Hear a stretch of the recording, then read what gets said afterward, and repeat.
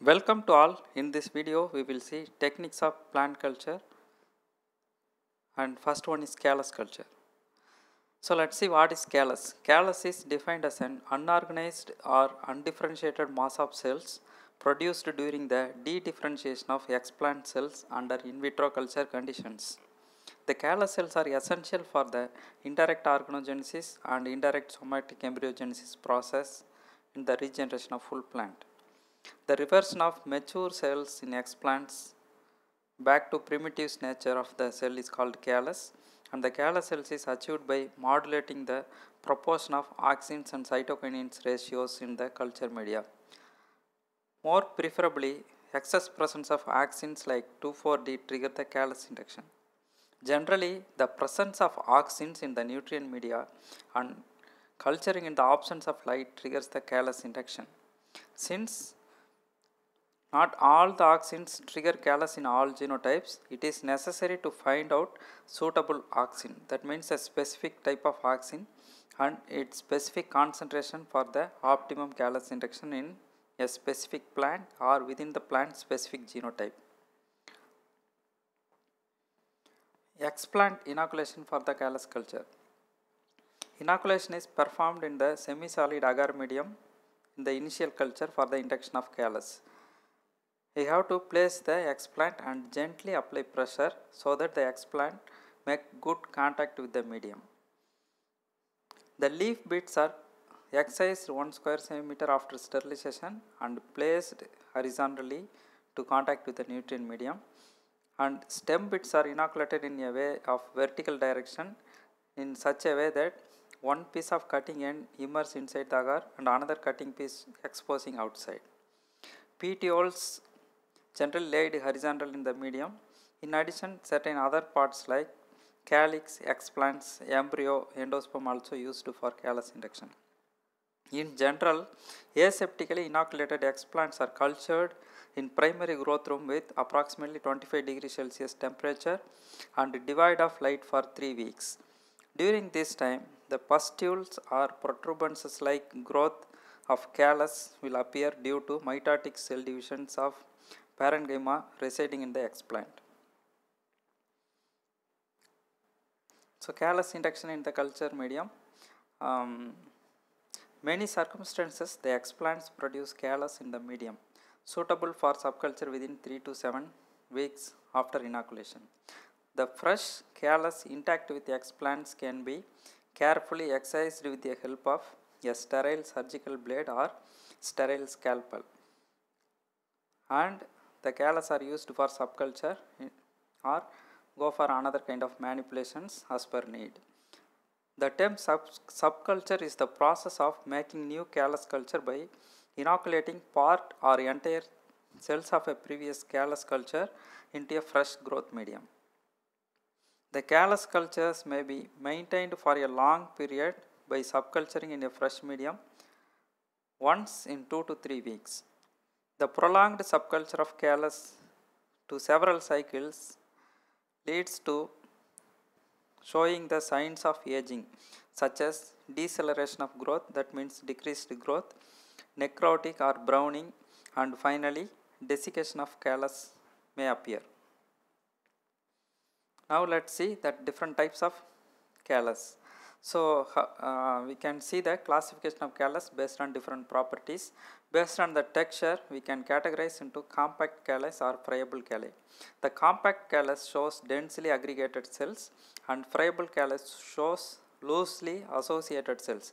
Generally in the early stage after inoculation of explant, we can see it as loose friable calli and after some time it become dense compact calli.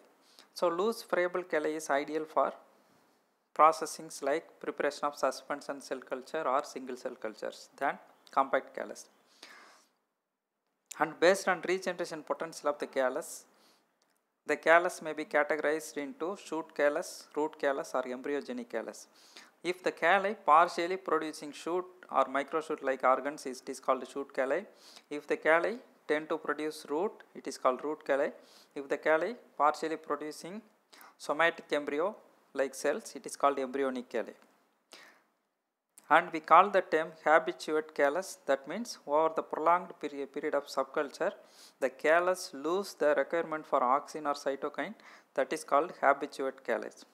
And based on color we categorize into white color calli colorless or sometimes green calli also appear from leaf explants and visualization we categorize into translucent calli and opaque calli so these are all different categories classified based on the different properties of callus. And we can measure the callus growth by three methods. One based on the fresh weight. So this method is non-destructive. During subculture we can take the weight in a sterile plate and sterile electronic medium which are present inside the laminar hood so it is a non-destructive method. We can use the callus for further subculture or other purpose next one is dry weight basis so here we have to sacrifice the calli so we have to take small portion dry it and take the weight and mitotic index so we can check the DNA content and we can identify the mitotic ratio and we can find out the growth stage of callus. Uh, modern days it is performed with the help of flow, flow cytometry. And we will see about the stages of callus growth. Generally callus growth followed the sigmoid curve and five different stages are reported. One is called lag phase and next one is ex log exponential phase and another one is linear phase and deceleration phase.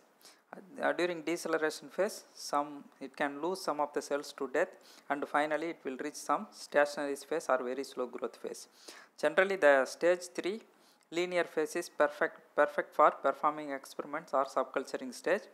So end of stage 2 and beginning of stage 3 is ideal for carrying out or processing the calli. Next manipulations of callus.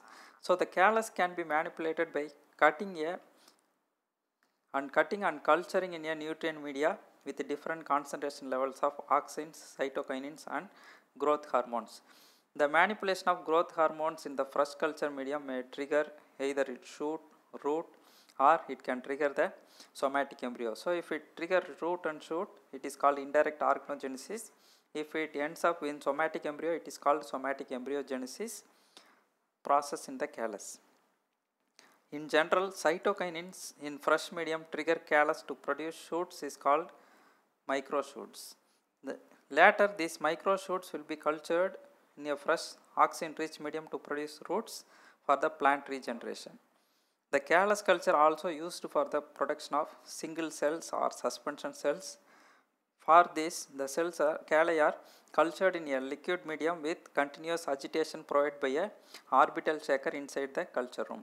Generally, friable calli is ideal for the production of single cell or suspension cell culture.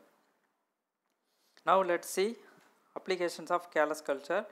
The callus culture used for the micropropagation and regeneration of plantlets. In vitro root culture by indirect organogenesis for the extraction of phytocompounds or for root research purposes. And third application is preparation of single cells or suspension cell culture is achieved by using a callus as a source. And callus is ideal for preparation of protoplast. Since the friable callus loosely arranged, it is ideal for the protoplast preparation. Next one is callus culture used for the genetic transformation purpose. For example, agrobacterium transformation, rice calli is used. Uh, similarly, several crops, calli is triggered for the development of transgenic plants. And next, callus culture used for the in vitro selection of cells in tissue culture variants. For example, we can select high salt tolerant variants through screening in media containing high salt content like that. And callus culture used for development of useful somaclonal vari variants that is useful for breeding purpose. Now we will see some of the factors influencing growth of callus. So first one is explant type. So the explant type from the from the plant which part we will use it as a explant highly influence the formation of callus. Most preferably leaf and uh, tender stem bits without nodes and petioles are highly preferable. In addition some other parts also used for induction of callus. and callus spread induction is highly depend on genotype. Generally, in, for example, in the case of anther culture, hybrids immature anthers perform well for induction of callus than varieties varieties are uh, inbreds. And media, the media preparation is ideal for the responsiveness of calli. Different types of medias are there and we have to identify right choice of medium for growing explants for callus induction.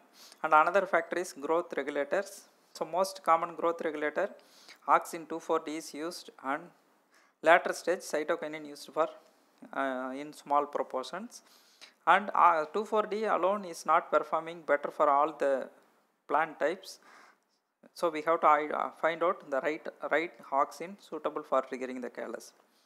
Next is the light or darkness maintained in the culture room.